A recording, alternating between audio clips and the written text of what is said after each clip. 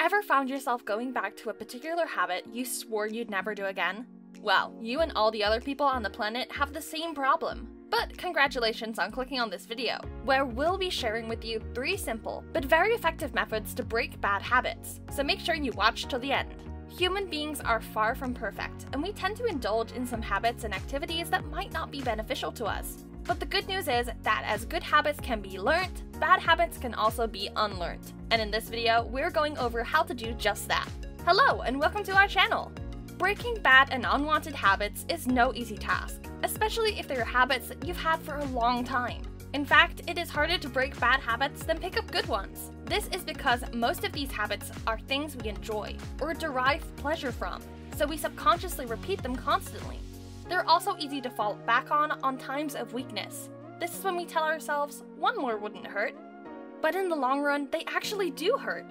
The first step in successfully breaking unwanted habits is to identify them. For example, if you want to stop snoozing your alarm too many times, you should identify that snoozing it more than three times is wrong and decide to snooze your alarm only once.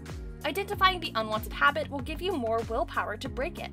The next step tackles a mistake many people make when they try to break a bad habit, and how to avoid making it. Let's check it out. To successfully break a bad habit, write down your whys. A mistake people make when trying to break a bad habit is to leave their whys in their head. Just as you write down your goals, writing down the reasons you need to break a particular habit will make it seem more doable and intentional. When you're tempted to indulge in that habit again, just find your whys, and they will help you think logically and overcome that moment of weakness. This last step is a personal favorite, and it's a very effective one. Keep watching to find out what it is. Finding yourself and creating obstacles. Yup, you heard that right. Fine yourself. You don't have to necessarily do this with money. You could simply deprive yourself of something you enjoy doing at any time you go back to that habit. Let's say you're trying to stop midnight snacks. Anytime you go back to it, you could find yourself by depriving yourself of your favorite TV show. This will give you a sense of responsibility and makes you less prone to going back to the habit. Nonetheless, having a reward system will also help you motivate to keep on going. If any of these tips have worked for you, let us know in the comment section below.